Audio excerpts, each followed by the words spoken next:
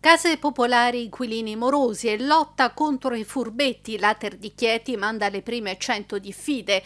Giro di vite contro chi non paga l'affitto e gli abusivi. Ad annunciarlo il presidente Antonio Tavani e il direttore generale Giuseppe D'Alessandro. Chi ascoltiamo. Sì, abbiamo avviato un'azione su impulso del Consiglio di amministrazione della presidenza eh, dell'Ater di Chieti di normalizzare eh, diciamo, il rapporto che corre tra l'azienda e i propri inquilini.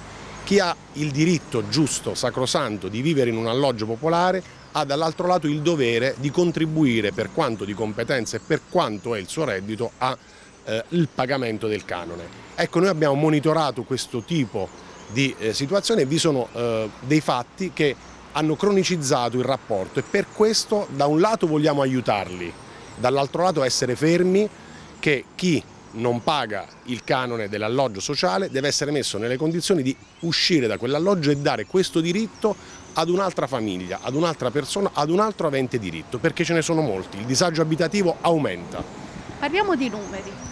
I numeri in questo momento abbiamo eh, fatto eh, la prima iniziativa che sono 100 diffide, le prime 100 diffide che sono partite nei confronti di questi signori e delle loro famiglie che sono tecnicamente morose. All'interno di questa iniziativa noi vogliamo monitorare bene il soggetto perché ci può essere quella che noi chiamiamo l'amorosità incolpevole e proprio in questo momento della pandemia è ovvio che ce ne sono state e ce ne sono molte. Dall'altro lato in questi casi aiutiamo con un piano di rientro medio-lungo a seconda della fattispecie e quindi a seconda anche dell'entità del debito queste persone e queste famiglie, ma come dicevo prima è scontato che se ci sono i cosiddetti furbetti che vogliono vivere in un alloggio popolare e negare tecnicamente questo diritto ad altri, noi non lo riteniamo corretto e quindi le prime 100 diffide sono uno stimolo e un esempio anche agli altri inquilini che devono essere informati che a breve arriveranno anche a loro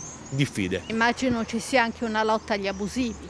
Assolutamente sì, perché è l'altra faccia della medaglia, è l'altro elemento che eh, chi ha diritto ad una casa è un problema che eh, va affrontato con tutte le strutture deputate a ciò. L'occupazione abusiva è un reato e i reati vanno perseguiti e le persone che si immettono in un alloggio, in una palazzina, arrecando disturbo, facendo reati, distruggendo talvolta la proprietà pubblica, non è un argomento. E per questo la tolleranza sarà zero.